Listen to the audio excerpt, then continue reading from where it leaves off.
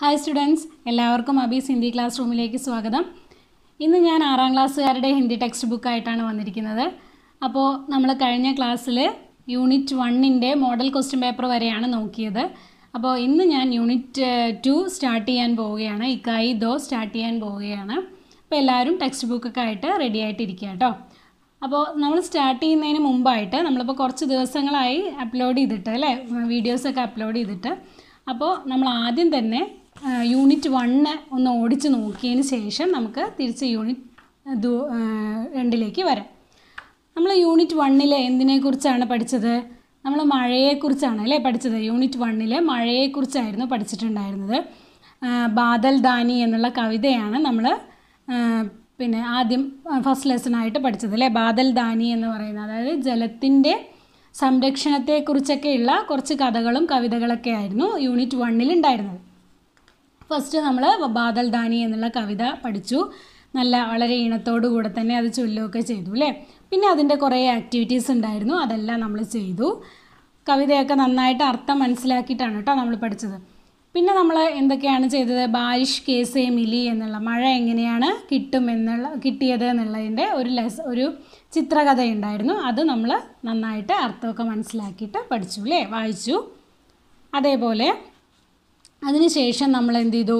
ഒരു പോസ്റ്റർ തയ്യാറാക്കാനും ആസ്വാദൻ ടിപ്പണി അതായത് വിവരണം വിവരം തയ്യാറാക്കാനും ഒക്കെയാണ് നമ്മൾ ഈ ലെസണിൽ നിന്നൊക്കെ പഠിച്ചത്. അതേപോലെ പോസ്റ്റർ തയ്യാറാക്കാൻ കൊളാഷ് തയ്യാറാക്കാനൊക്കെ നമ്മൾ പഠിച്ചു. ജലത്തെക്കുറിച്ച് ജലക്ഷാമത്തെക്കുറിച്ചൊക്കെ ഉള്ള പോസ്റ്ററൊക്കെ തയ്യാറാക്കുന്നതിന് വേണ്ടിയിട്ടും ജലത്തെ സംരക്ഷിക്കുന്നതിനുള്ള പോസ്റ്ററൊക്കെ തയ്യാറാക്കാനൊക്കെയാണ് നമ്മൾ ഈ ലെസണിൽ നിന്നൊക്കെ പഠിച്ചത്. ഇനി നമ്മൾ നെക്സ്റ്റ് ഇക്കായിദോ. അതായത് നമ്മുടെ യൂണിറ്റ് രണ്ട് സ്റ്റാർട്ട് ചെയ്യാണ്. എന്താണ് യൂണിറ്റ് രണ്ടിൽ സ്റ്റാ എന്തൊക്കെയാണ് കാര്യങ്ങൾ എന്നുള്ളത് നമുക്ക് വഴി അറിയാം അല്ലേ? അപ്പോൾ നമുക്ക് ആദ്യം തന്നെ നമുക്കറിയാം നമ്മൾ ഒരു ലെസൺ അല്ലെങ്കിൽ ഒരു യൂണിറ്റ് സ്റ്റാർട്ട് ചെയ്യുന്നതിന് മുമ്പ് മുമ്പായിട്ട് നമ്മുടെ എന്താ പറയുക ചിത്രവാചൻ കർണാഹയാം. ഒരു ഇവിടെ ഒരു ചിത്രമുണ്ട്. ആ ചിത്രത്തിനെ നമുക്കൊന്ന് നന്നായിട്ട് അറിയണം. എന്തൊക്കെയാണ് ആ ചിത്രത്തിലുള്ളത്. എങ്ങനെയാണ്? ചിത്രവാചൻ കർണ എന്ന് പറഞ്ഞാൽ ചിത്രത്തെ നന്നായി വായിക്കുക അല്ലേ? മനസ്സിലാക്കണം നമ്മൾ ചിത്രത്തിന്. എന്താണ് എന്നുള്ളത്? അപ്പോൾ ആ ചിത്രത്തിൽ തന്നെ നമുക്ക് മനസ്സിലാക്കാൻ കഴിയും എന്തിനെക്കുറിച്ചിട്ടുള്ള പാഠങ്ങളാണ് ഇതിന് ഇനി അങ്ങോട്ട് വരാനിരിക്കുന്നത് എന്നുള്ളത് നമുക്ക് ഈ ചിത്രത്തിൽ നിന്ന് തന്നെ മനസ്സിലാക്കാൻ കഴിയും. ഓക്കെ. അപ്പം നമ്മൾ എടുത്തു അല്ലേ? ഇക്കായിദോ. ഇക്കായിദോ എന്ന് പറഞ്ഞാൽ യൂണിറ്റ് രണ്ട് എടുത്തു. ഇത് ഇതാണ് ചിത്രം ഉണ്ടാവുക. എല്ലാവരും കണ്ടല്ലോ? എല്ലാവരുടെ അടുത്തും ടെക്സ്റ്റ് ബുക്ക് ഉണ്ടെങ്കിൽ അത് ശ്രദ്ധിക്കുക കേട്ടോ. എന്താണ് ആ ചിത്രത്തിൽ കൊടുത്തിരിക്കുന്നത്? എന്താണ് അവിടെ കാണുന്നത്? ആ ഇവിടെ ഒരു ഇന്ത്യയുടെ നമ്മുടെ ഭാരതത്തിന്റെ ഒരു മാപ്പാണ് അല്ലേ? ഒരു ഭൂപടം രൂപത്തിൽ കുറേ കുട്ടികളിങ്ങനെ കൈ കോർത്ത് നിൽക്കുകയാണ്. അല്ലേ? എങ്ങനെയാണ് അവർ ഭൂപടം ഉണ്ടാക്കി വരച്ചിരിക്കുകയാണോ? അല്ല അല്ലേ? ഓരോ പേര് കൈ കോർത്ത് കൈ കോർത്ത് നമ്മുടെ ഇന്ത്യയുടെ അതേ ഷേപ്പിൽ നിൽക്കുകയാണ് അല്ലേ? അപ്പോൾ എന്തൊക്കെയാണ് നമുക്ക് മനസ്സിലാക്കുന്നത് നോക്കൂ. എന്തൊക്കെയാണ്? പലതരത്തിലുള്ള ആളുകളുണ്ട്. പലതരത്തിലുള്ള എന്താ പറയുക വസ്ത്രങ്ങൾ ധരിച്ച ആളുകളാണ്. അല്ലേ? അപ്പോൾ എന്താണ് ഇതെന്ന് മനസ്സിലാക്കുന്നത്? എല്ലാവരും വളരെ ഐക്യത്തോടു കൂടിയാണ് നിൽക്കുന്നത് അല്ലേ? നമുക്കറിയാം നമ്മുടെ ഇന്ത്യനെക്കുറിച്ച് നമുക്ക് ആലോചിക്കുമ്പോൾ തന്നെ അറിയാം. പലതരത്തിലുള്ള ആളുകൾ അതായത് പലതരത്തിലുള്ള വേഷങ്ങളുള്ള ആൾക്കാർ വേഷം യൂസ് ചെയ്യുന്നവരുണ്ട്. പലതരത്തിലുള്ള ഭാഷ സംസാരിക്കുന്നവരുണ്ട് പലതരത്തിലുള്ള സംസ്കാരങ്ങൾ രൂപങ്ങളുള്ളവർ ഒക്കെ ഉണ്ട് അല്ലേ? അവരൊക്കെ നിറഞ്ഞതാണ് നമ്മുടെ ഭാരതം. നമ്മുടെ ഭാരതം ഇത്രയൊക്കെ വ്യത്യസ്ത ആളുകൾ ഉള്ളവരാ ഉള്ള ഒരു നാടാണെങ്കിലും നമ്മുടെ ഭാരതം എന്താണ്? വളരെ ഐക്യത്തോടു കൂടി പോകുന്ന അതായത് ഒരു രാജ്യമാണ് അല്ലേ? ഇത്രയും പേരുണ്ടെങ്കിലും ഇത്രയും വ്യത്യസ്തതകളുണ്ടെങ്കിലും ഒറ്റക്കെട്ടായി നിൽക്കുന്ന ആൾക്കാരാണ് നമ്മളെല്ലാ ഭാരതീയരും എന്നുള്ളതാണ് ഇതിൽ നിന്ന് അർത്ഥമാക്കുന്നത്. അതാണ് ഈ ചിത്രത്തിൽ നിന്ന് നമുക്ക് മനസ്സിലാക്കി തരുന്നത്. ഇനി നോക്കൂ. അതായത് അനേകതാമേ ഏകത എന്നാണ് നമ്മൾ ഇതിൽ നിന്ന് മനസ്സിലാക്കുന്നത് എന്നുള്ളതാണ്. ഇനി അവിടെ ഒരു ചോദ്യമുണ്ട്. അമാ ഹമാരെ ദേശ് കി ഖൂബിയാം ക്യാ ക്യാ ഹേ എന്ന് താഴത്തെ ഒരു ചോദ്യം കൊടുത്തിട്ടുണ്ട്. എന്തൊക്കെയാണ് നമ്മുടെ രാജ്യത്തിന്റെ സവിശേഷതകൾ എന്തൊക്കെയാണെന്നാണ് ചോദിച്ചിരിക്കുന്നത്. നമുക്ക് വളരെ വ്യക്തമായിട്ട് അല്ലെ വളരെ ഈസി ആയിട്ട് പറയാൻ പറ്റുന്ന ഒരു വളരെ ഇമ്പോർട്ടന്റ് ആയിട്ടുള്ള ഒരു സവിശേഷത തന്നെയാണ് ഇപ്പോൾ ഞാൻ പറഞ്ഞത്. എന്താണ്? പലതരത്തിലുള്ള ആളുകളാണെങ്കിലും നമ്മളെല്ലാവരും ഒറ്റക്കെട്ടായി ഇന്ത്യക്കാരെ എന്ന് പറഞ്ഞിട്ടുണ്ടെങ്കിൽ അതിൽ ഒരു വ്യത്യസ്തതയില്ല അല്ലേ? നീ ഇന്ത്യക്കാരനാണോ? ഞാനും ഇന്ത്യക്കാരനാണ് എന്നുള്ള ഒരു വ്യത്യാസം ഇപ്പോൾ നീ കറുത്തവനാണോ? വെളുത്തവനാണോ? എന്താ പറയുക നീ തമിഴ് സംസാരിക്കുന്നവനാണോ? നീ ഹിന്ദി സംസാരിക്കുന്നവനാണോ? അങ്ങനെയൊന്നുമില്ല. നമ്മളെല്ലാവരും ഒറ്റക്കെട്ടായി നിൽക്കുന്നതാണ് അതാണ് ഏറ്റവും വലിയ സവിശേഷത എന്ന് പറയുന്നത് ഭാരതത്തിന്റെ. ഇനി അവിടെ ഒരു പദ്യം കൂടെ കൊടുത്തിട്ടുണ്ട് അല്ലേ? ഒരു നാല് ലൈൻ കൊടുത്തിട്ടുണ്ട്. നമുക്കറിയാവുന്ന സുപരിചിതമായ ഒരു കവിതയുടെ നാല് ലൈൻസാണ് ഒരു അവിടെ കൊടുത്തിരിക്കുന്നത്. ഹിന്ദ് ദേശ് കെ നിവാസി സഭീജനയേക്ക് ഹേ രംഗ് വേഷുഭാഷ ചാഹെ അനേക്ക് ഹേ. അല്ലേ? ഹിന്ദ് ദേശ് കെ നിവാസി ഭാരതത്തിലെ ജനങ്ങളെല്ലാവരും സഭീജനയേക്ക് എല്ലാവരും ഒറ്റ ഒന്നാണ്. എല്ലാവരും ഒന്നാണ്. രംഗരൂപ വേഷഭാഷ ആ നിറം രൂപം വേഷം ഭാഷ ചാഹയാണ്. ഇതെല്ലാം വേറെ വേറെ ആണെങ്കിലും ഭാരതത്തിലെ ജനങ്ങളെല്ലാവരും ഒറ്റക്കെട്ടാണ് എന്നുള്ളതാണ് ഇതിൽ നിന്ന് പറയുന്നത്.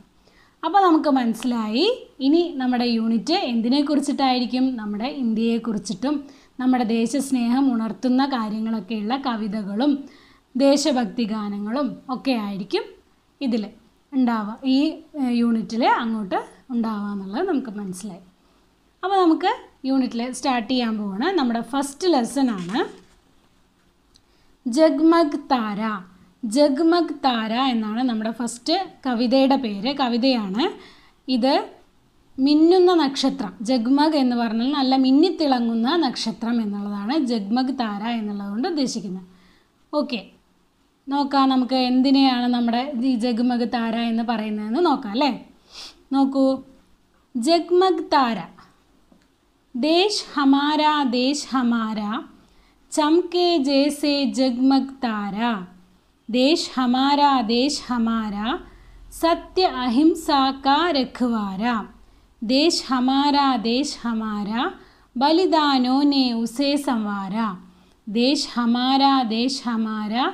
हम हमें है अपनी जान से प्यारा देश हमारा देश हमारा सागर से जिसका पाव पसारा देश हमारा देश हमारा सत्य की जय संदेश हमारा देश हमारा देश हमारा हमें है अपनी जान से प्यारा നോക്കൂ ദേശ് ഹമാര ദേശ് ഹമാര നമ്മുടെ രാജ്യം അല്ലേ നമ്മുടെ രാജ്യം ചംകെ ജേസെ ജഗ്മഗ് താര. എങ്ങനെയാണ് നമ്മുടെ രാജ്യം ഉള്ളത് മിന്നുന്നു അല്ലേ എങ്ങനെയാണ് മിന്നുന്നത്?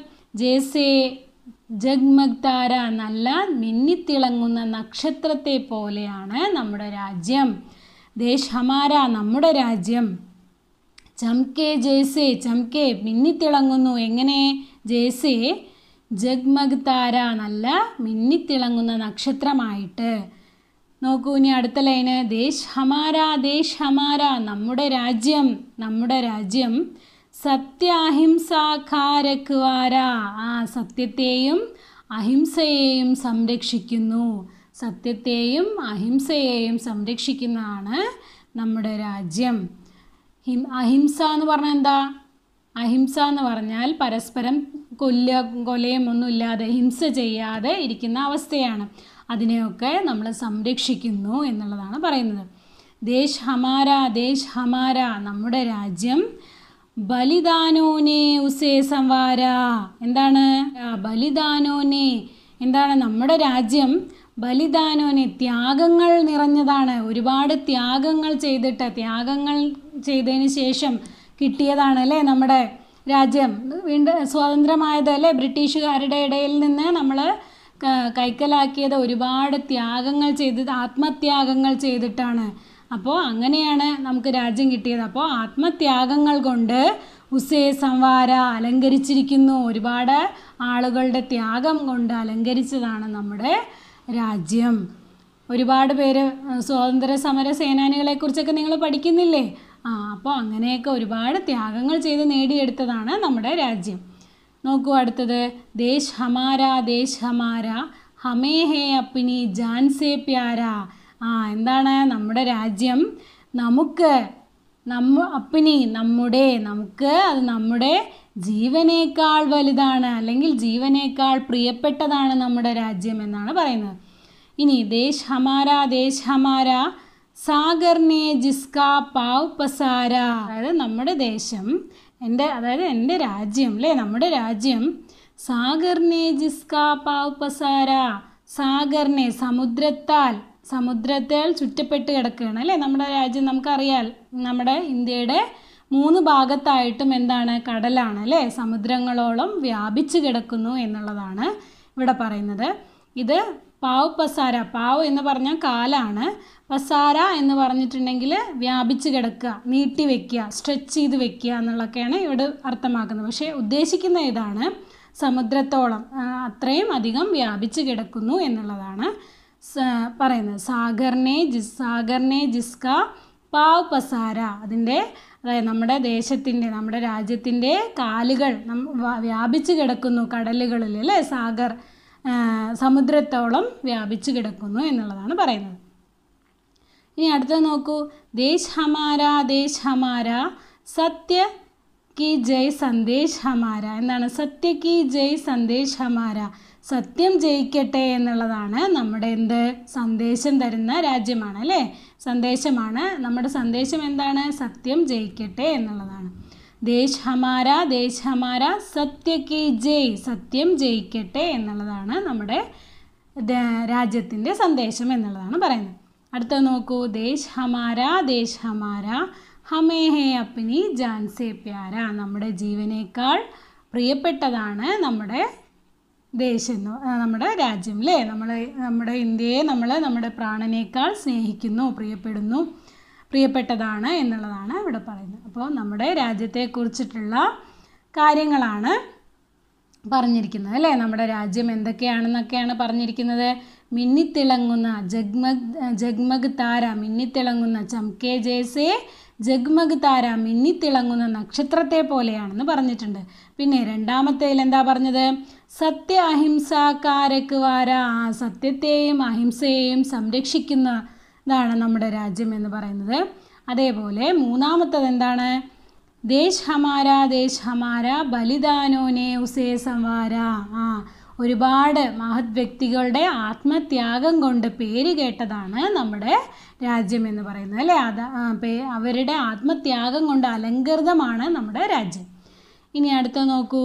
ഹമേ ഹേ അപ്നി ജാൻസേ പ്യാര. നമുക്ക് നമ്മുടെ ജീവനേക്കാൾ വലുതാണ്. പിന്നെ സാഗർനെ ജിസ്ക പാവ് പസാര കടൽ കടലോളം വ്യാപിച്ചു കിടക്കുകയാണ് നമ്മുടെ എന്ത്? നമ്മുടെ രാജ്യം. പിന്നെ ദേശ് ഹമാര ദേശ് ഹമാര സത്യക്ക് ജയ് സന്ദേശ് ഹമാര സത്യം ജയിക്കട്ടെ എന്നുള്ള സന്ദേശമാണ് നമുക്കുള്ളത്.